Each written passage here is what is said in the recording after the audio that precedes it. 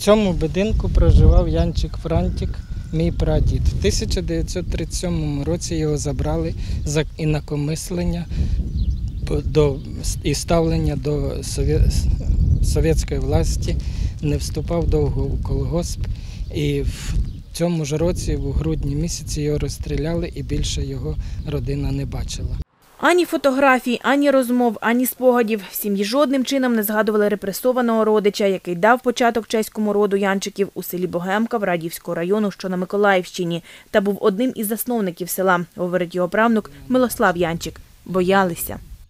Тут вони проживали е, більше 30 років. Було в них е, дев'ятеро дітей, працювали, ростили дітей, е, жили як могли. Ну, один е, такий момент, який все перечеркнув, і була страчена людина і загублена доля.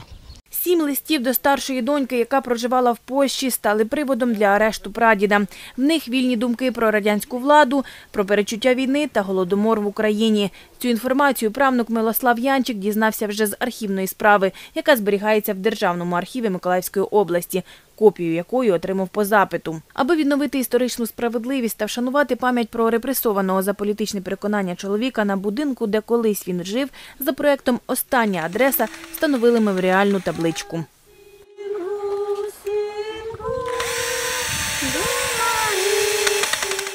На ній вказано дати життя, розстрілу та реабілітації. Это проект, который направлен... Цей проєкт спрямований на вшанування пам'яті репресованих в роки тоталітарного режиму. У нас в Чехії це стосується відповідно чехів. У Богемці наша діаспора, їх це також стосується. Ми запропонували родичам вшанувати пам'ять про просту людину, яка потрапила під каток комуністичної влади. Вони погодились. Такі безіменні жертви отримують свою останню адресу, де жили і могли б ще довго жити.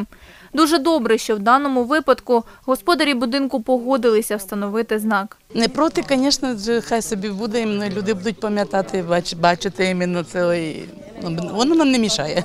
Мене теж погибли іменно в війну дідушки, виходить, що це історія. Поки ми, наше покоління поки живе, то ми пам'ятаємо про це. Я так думаю, що всі історії колись забуваються. Ну це покоління поки живе, ця історія пам'ятається. В Україні це друга встановлена пам'ятна табличка репресованим чехам. Є в Житомирі та на Миколаївщині. Е, Репресивна політика як метод управління е, державою комуністами, він був присутній від першого дня існування цього режиму до останнього. Але були піки. От. Один із е, таких масштабних піків це був 37-38 роки, коли репресували масово. Е, Ну, можна сказати, що е, політичний режим намагався способом соціальної інженерії превентивні заходи, тобто унеможливити саму можливість появи якоїсь п'ятої колони чи е, противників режиму і так далі. Точної цифри, скільки загалом на території України було страчено чехів роки тоталітарного режиму, немає. Ольга Руда, Юлія Фільмон. Новини на Суспільному. Миколаїв.